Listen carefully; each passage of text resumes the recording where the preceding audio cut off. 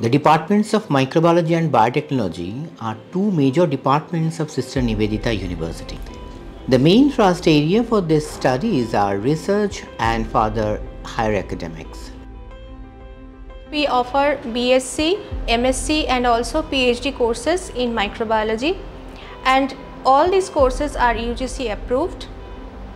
I would like to mention that we have many high-end research facilities and we provide research facilities for our students starting from their first year of BSc.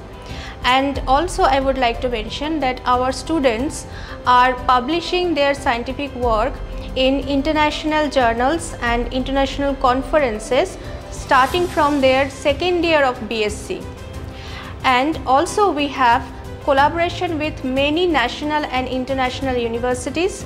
We have sent our students for their PhD program in Okayama University, Japan.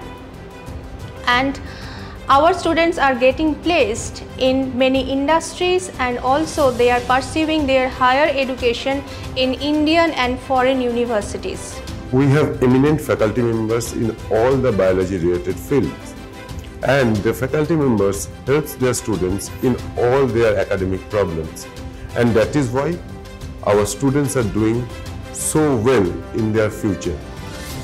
I just want to mention that from the previous pass out batches, two of our PG students has already got their chance to carry out research as a research scientist in Burdwan Medical College and another in Tripura University.